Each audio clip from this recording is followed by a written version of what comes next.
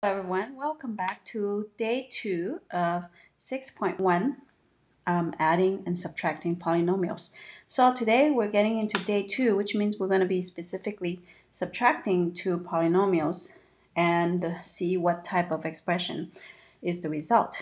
And here we have our first example. And when we subtract, it's almost exactly identical to adding with only one extra steps. So the only extra step is that we will be um, rewriting the second term with the negative that is being distributed. So we're going to redistribute the negative through every term in the second parenthesis. So we got negative negative, which gives us, and we're going to change that to, to a plus, so that way we can um, we can rewrite the answer. And if you want to like um, show all your work without skipping any step, the best thing to do is rewrite the first parentheses uh, without the parentheses and then distributing. That way we can cancel out. So we got negative negative, which is positive c to the fourth. And then we got negative 4c to the third. And we have plus c squared and minus 5. And now we could freely combine our like terms just like what we did yesterday and we're going to start with the highest power, which is c to the fourth. We got two of them. So 1 plus 1, the coefficient would be 2c to the fourth.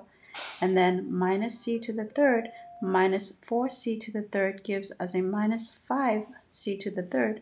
So like I said, as you go, you want to start canceling the same terms so that way they're not in the way.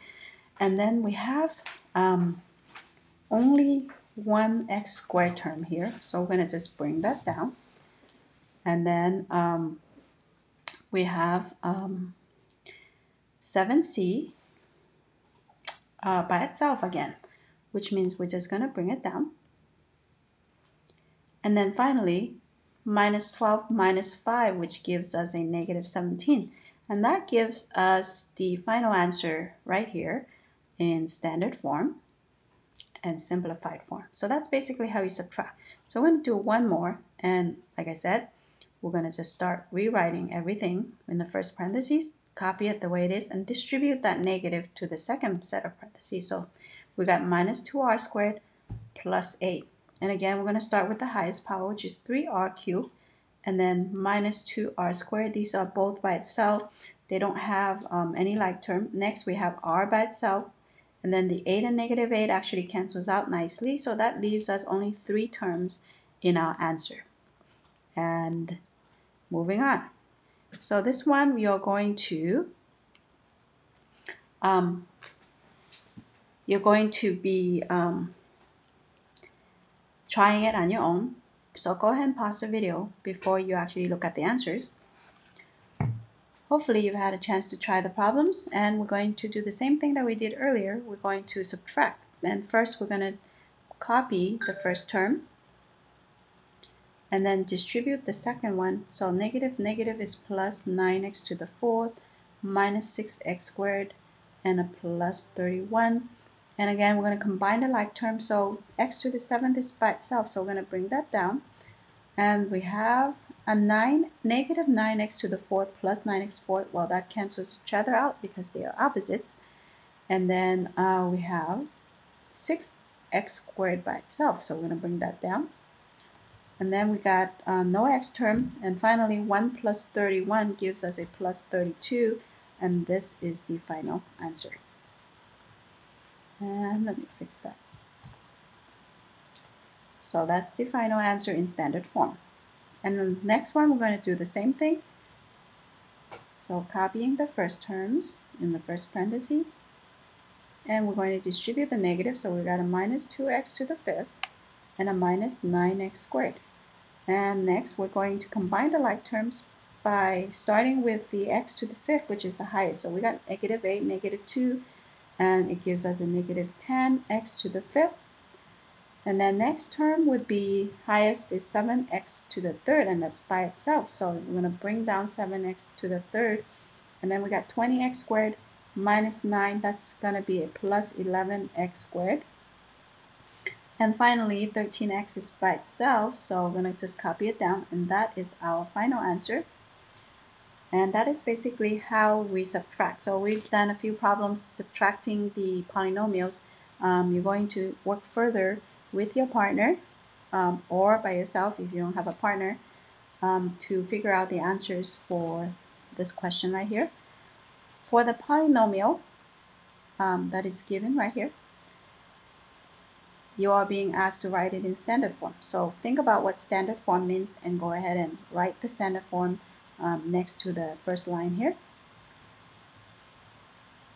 Hopefully you've had a chance to try it. Let's go ahead and start with the, the highest degree, which is x to the fifth. So we're going to start by writing the highest term here, and the next is um, x to the fourth. So we're going to bring down the x to the fourth here. And then we're going to um, go down the list to x to the third, to x squared, and then 2x and finally a minus 1. So this is your standard form going from 5 to 4 to 3 to 2 to 1 and 0. And that's basically how you rewrite it in standard form.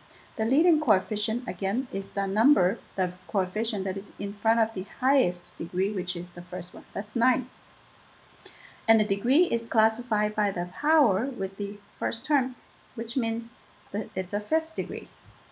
And the number of terms, so we can just count here. One, two, three, four, five. There are six terms in this polynomial. And last one, what polynomial could you add to this one right here that will get you a sum of this? So we're going to start with um, the first expression. We're going to add something to it. We don't know what, but we're going to add something that will give us this um, answer right here, but we're going to rewrite it in standard form. So we have 4x to the fourth um, minus x to the third plus 3x squared and then plus 3x and finally a plus 3. So I just rewrote the answer in standard form. Now we can easily line up and think, well, what do I need to add from 3 to get to 4? Well, obviously that's going to be 1x to the fourth, right? And then how do I go from negative 9 to a negative 1? That means we're going to have to add 8. And then 5 um, plus what is going to give you a 3? So actually it's going to be a, a plus negative 2x squared. So 5 minus 2 equals 3. And then how do I go from negative 1 to 3? Which means you're going to have to add 4x. And finally, how do I go from 7 to 3? That means I need to subtract 4. So the resulting answer that I need to add to get to the final answer is that right there. So that would be the answer that you would add. That's the polynomial that you need to add to get that answer right there. And that is the end of the problems for today. Um, just kidding, we have one more. So you're gonna actually try this problem um, on your own uh, before we go on. So example one, um, a rectangle has a length of x. So we're to draw a rectangle. And the length is x. The width is 3x to the third plus 3 minus x squared. It says write and simplify the expression for the perimeter. So as you recall, the um, formula for finding a perimeter is length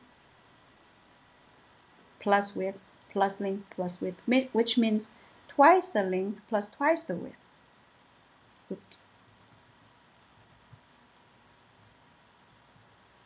So you can either go perimeter equals twice the length plus twice the width, uh, and then, or you can just add everything together. So we're going to use the formula, which means it's going to be twice the length, so that's twice times x, that's plus 2 times 3 x to the third plus 3 minus x squared.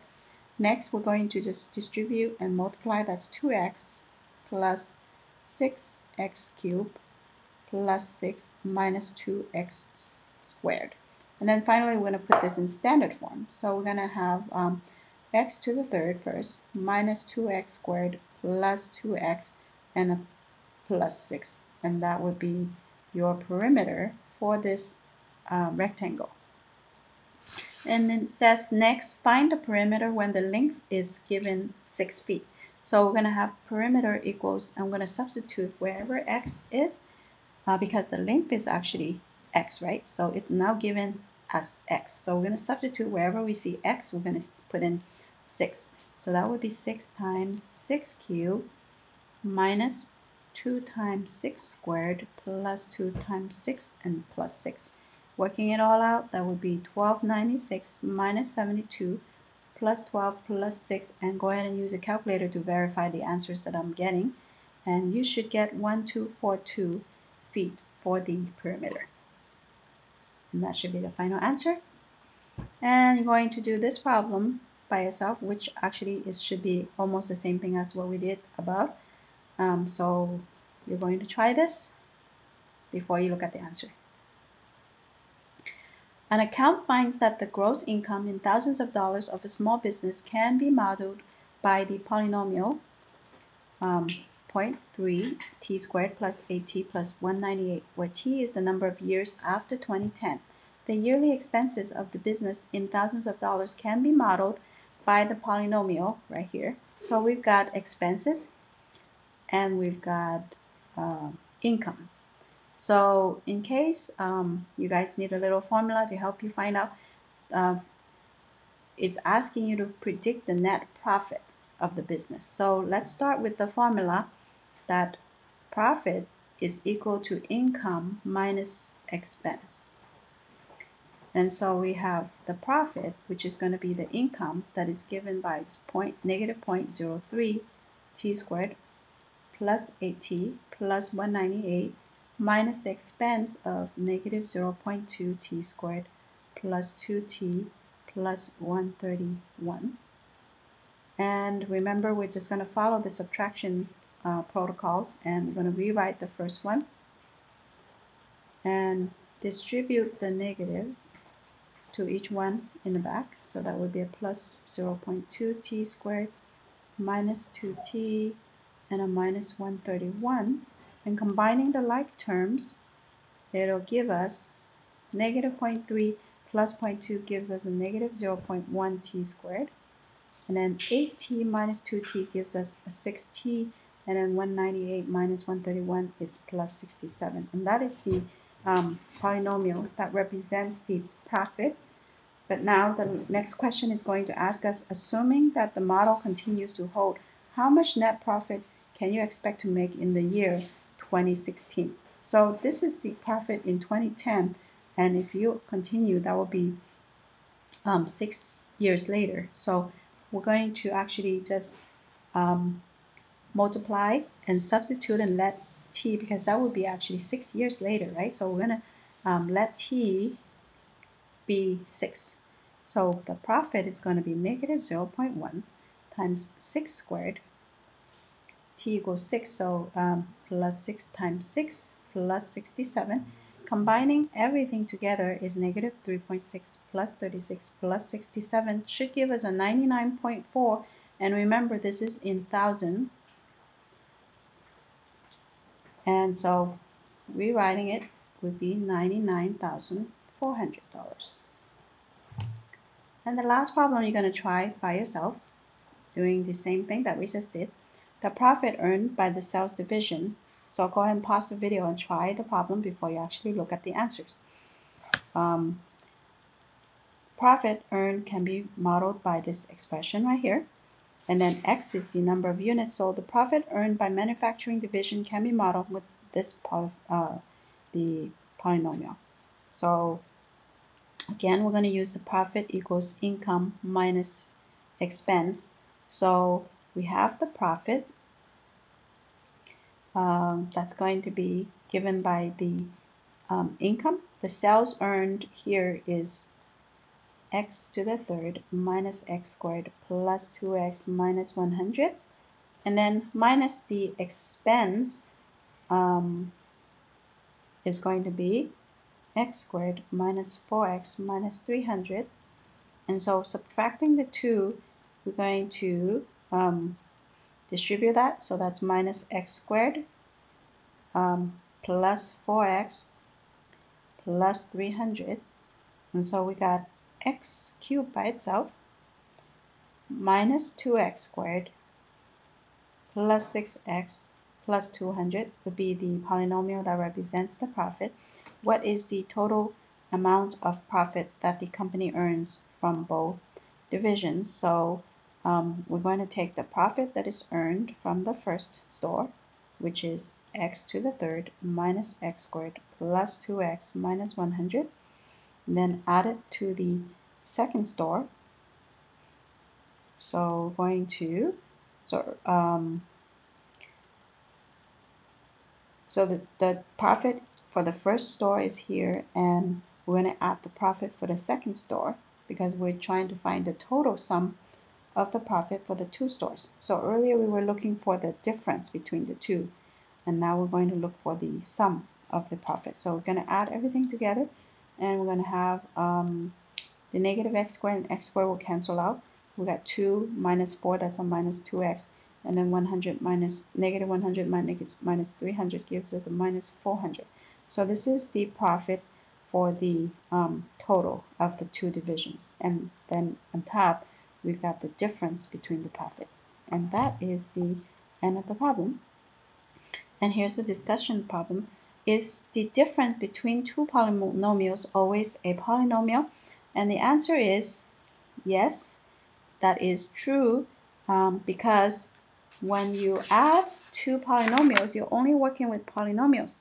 And likewise, when you subtract two polynomials, you're always going to be actually working with polynomials as well. So polynomial minus polynomial is still going to give you polynomial. Even when you cancel everything and you get zero, it is still considered a polynomial. So that is the conclusion of this lesson. So hopefully you learn how to add and subtract polynomials um, in, the, in the last two days. So go ahead and log into your Google Classroom and get started with your homework assignment for today.